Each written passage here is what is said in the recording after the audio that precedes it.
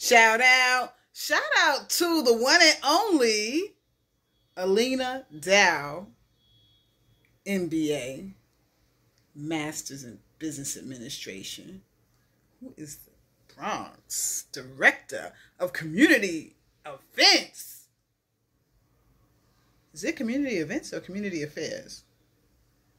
Director Alina, I hope I'm not jacking up your title, but you know who it is. It's your girl, Professor Eva Marie King. I was born in the South Bronx, y'all. Y'all, you know, y'all understand. I'm from the BX. Like, I was born in the old Lincoln Hospital in the South Bronx. In 1965, that's right. And I've had several successful youth organizations. And Director Alina, I didn't know the Dowe twins were your children. Oh my God. Dr. Jordan told me about those twins, and I was looking at some of their stuff on Instagram. I said, oh my God, they're so talented. I have to come see them perform.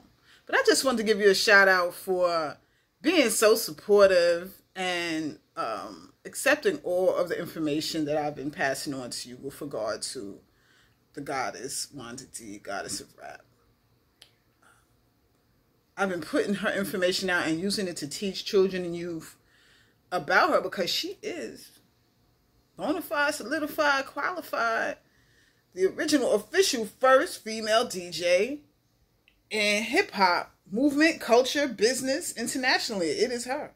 You know, um, you can go look her up yourself. I'm, I'm currently doing a social uh, media experiment, and I'm telling folk, go to Google, press on the microphone on Google on your phone and ask Google on your phone who is the first female DJ of hip hop. And Google is going to tell you DJ Wanda Dee.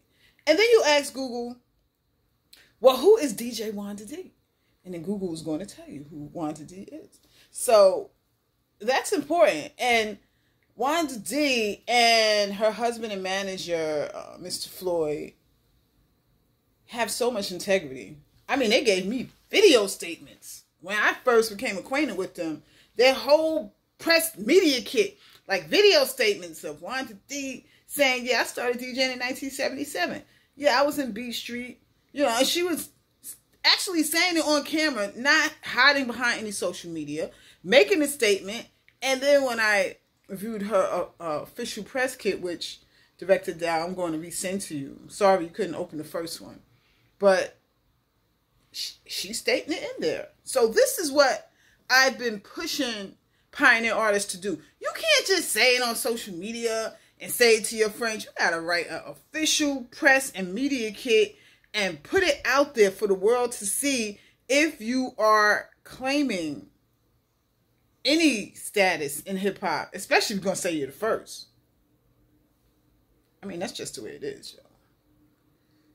Got to realize the history of hip hop has only started when start writing it like maybe 20 years ago like the pioneers that actually participated in it it's really a new field you know i started teaching the history of women in hip hop because it's not in colleges I mean, I have an advanced degree in public relations. My undergraduate degree is in communications. Y'all know I had to throw that in. I had to let y'all know I went to school. Shout out to the Dowe twins because I know they're going to go to school. I know they're going to college like their mother.